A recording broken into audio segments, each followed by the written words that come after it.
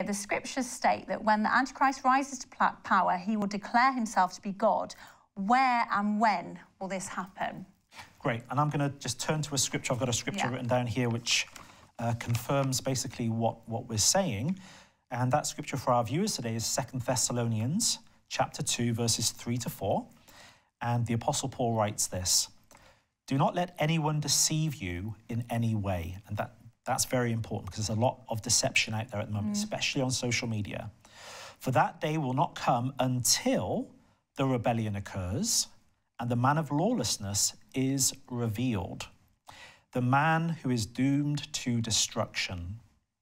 He will oppose and will exalt himself over everything that is called God or is worshipped, so that he sets himself up in God's temple, proclaiming himself to be God. Mm. So, once again, we have very clear prophetic instruction by the Apostle Paul that the rebellion must have come first. This is most likely talking about the rebellion within the church, the great apostasy or departure from the apostolic faith. Mm. We see we kind of see that happening at the moment where people are, are leaving biblical gospel preaching mm. and they're turning to a seeker gospel, mm. which is no, no, gospel at all, really. Yeah. I mean, people aren't being saved through the seeker message at all. So we're seeing the apostasy occur. But then after this, we're told that the Antichrist will arise and we, he will proclaim himself that is God and anything that is worshipped, and he will set himself up in God's temple.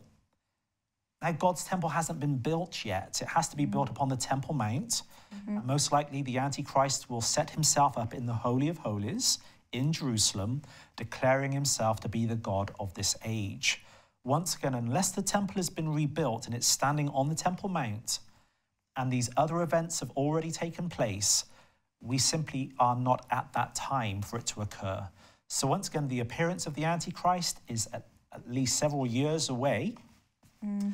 And the Antichrist will appear at a time in future history when the temple is built, the one world government is in place, the one world religious system is in place, and then at that time he will proclaim himself to be God mm. and uh, would demand that people worship him as such.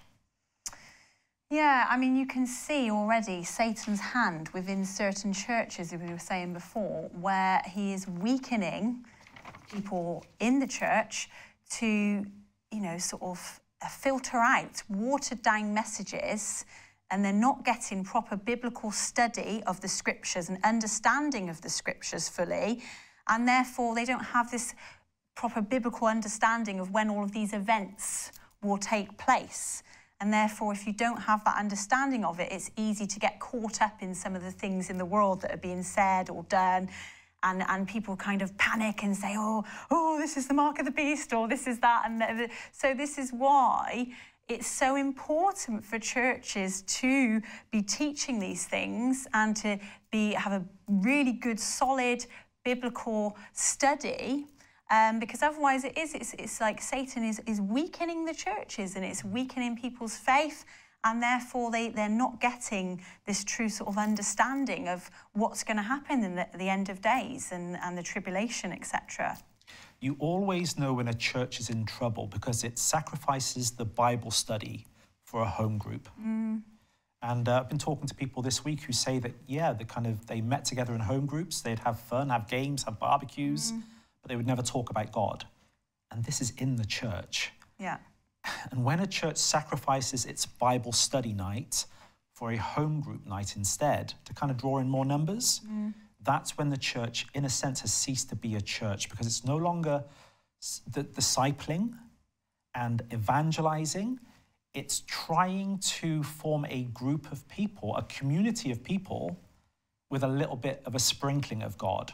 Yeah. That's not what the church is. No. The church fundamentally and primarily is a place of evangelism mm-hmm. and a place of discipleship. And once again, if the Bible study is being sacrificed for just a home group, it kind of ceases to be a real church. To be a bit wary of a church like that, really, then, isn't it? Be a bit Absolutely. wary of it, I would say. Yeah.